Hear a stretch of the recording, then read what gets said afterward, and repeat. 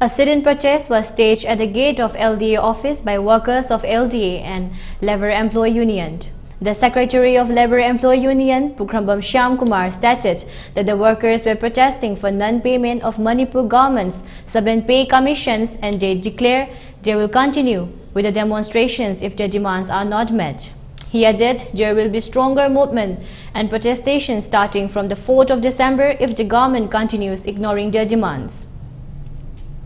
ꯑꯩꯈꯣꯏꯗꯤ ꯑꯩꯈꯣꯏꯅ ꯉꯁꯤ ꯊꯕꯛ ꯇꯧꯖꯔꯤꯁꯦ ꯂꯣꯛꯇꯥꯛ ꯗꯤꯕ꯭ꯂꯞꯃꯦꯟ ꯑꯣꯊꯣꯔꯤꯇꯤꯅꯦꯕ ꯑꯃꯔꯣꯝꯗꯗꯤ ꯑꯩꯈꯣꯏ ꯂꯣꯛꯇꯥꯛ ꯗꯤꯕ꯭ꯂꯞꯃꯦꯟ ꯑꯣꯊꯣꯔꯤꯇꯤꯗ ꯂꯩꯔꯤꯕ ꯃꯦꯆꯦꯜ ꯍꯦꯚꯤ ꯃꯦꯆꯦꯜ ꯚꯦꯀꯜ ꯃꯌꯥꯝꯁꯦ ꯃꯅꯤꯄꯨꯔꯒꯤ ꯆꯥꯎꯔ ꯆꯥꯎꯔꯕ ꯗꯤꯄꯥꯔꯠꯃꯦꯟ ꯍꯥꯏꯔꯤꯁꯤ ꯑꯃꯠꯇ ꯂꯩꯕ ꯅꯠꯇꯦ ꯂꯣꯛꯇꯥꯛ ꯍꯥꯏꯕꯁꯤꯗꯤ ꯃꯅꯤꯄꯨꯔꯒꯤꯅꯤ ꯃꯅꯤꯄꯨꯔ ꯄ꯭ꯔꯖꯥ ꯄꯨꯝꯕꯒꯤꯅꯤ ꯃꯅꯤꯄꯨꯔ ꯈꯛꯇ ꯅꯠꯇꯦ ꯋꯥꯔꯜꯒꯤꯅꯤ ꯑꯗꯨꯅ ꯂꯣꯛꯇꯥꯛ ꯍꯥꯏꯕꯁꯤꯗꯤ ꯑꯩꯈꯣꯏꯒꯤ ꯑꯁꯨꯛꯀꯤ ꯃꯇꯤꯛ ꯑꯩꯈꯣꯏꯒꯤ